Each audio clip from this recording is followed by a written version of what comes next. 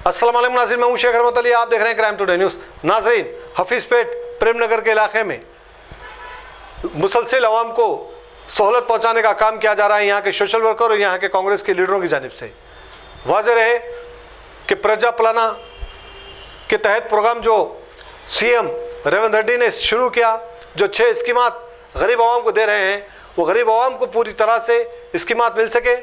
इसके लिए ये लोग भी मेहनत कर रहे हैं, काम कर रहे हैं। और यहाँ का जायज़ा लिया समाजी कारकुन जनाब इलियास शमशी ने। बात अजा उन्होंने मीडिया से बात की और सारे तफसलात बताई।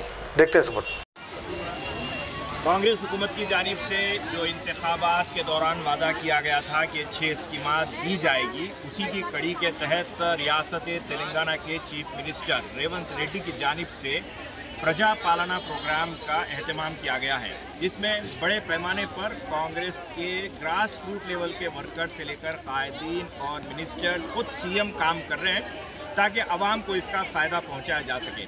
आज मैं ऐसी कड़ी के तहत हफीज़ पेट में मौजूद हूँ जहाँ पर हमारे एमएलए साहब की क़ियादत में प्रेम नगर के कायदीन, जिनमें ख़ास तौर पर हमारे जलील भाई, ख्वाजा भाई, रशीद भाई, इस्माइल भाई, फ़ारूक भाई और जावेद भाई, ये तमाम तर रात दिन ये कोशिश और मेहनत कर रहे हैं कि आवाम को इसका फ़ायदा पहुँचाया जा सके। जो वादे किए गए थे, कांग्रेस की तारीख रही है कि कांग्रेस ने हमेशा अपने वादे निभाए और कांग्रेस के वादों को निभाने में इन जैसे सिपाहियों का बहुत बड़ा रोल होता है, जो गरीबों की दुआएँ भी लेते हैं और साथ ही साथ ज़मीन पर आकर काम भी करते हैं।